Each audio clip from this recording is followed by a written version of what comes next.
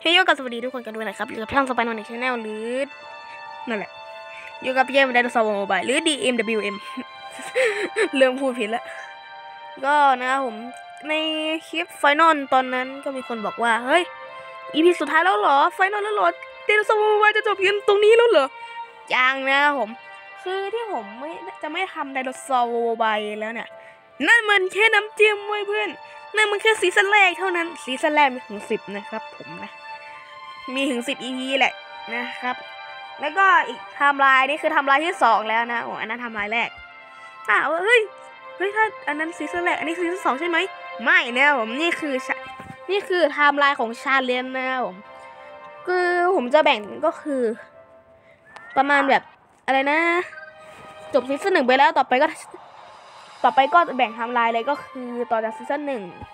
ก็ challenge นะผมหรือทำอะไรไปนู่นไปนี่นะผมตาม challenge ของเรา ต่อ challenge ก็คือ season สองนะครับผม แล้วก็ต่อจาก season สองก็คือ storyline นะครับผม story เลยนะ ไม่ใช่ไทม์ไลน์แล้วนะครับผม แล้วก็ต่อไปด้วย อืม ไม่รู้ละอืม ก็น่าจะซีซั่นสามแล้วมั้งก็วันนี้ชลเลนแรกก็คือ เป็นนกห้ามบินและห้ามตาย บินเท่ากับจบคลิปตายเท่ากับจบคลิปนะครับตัวที่ผมเลือกก็คือ Hexicopterix เริ่มเลย ตายเท่ากับจบคลิปนะครับ ผมนะ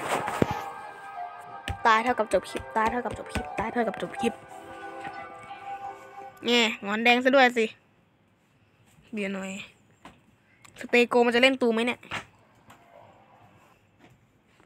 โอเคฟ้าฟ้าสวยสุด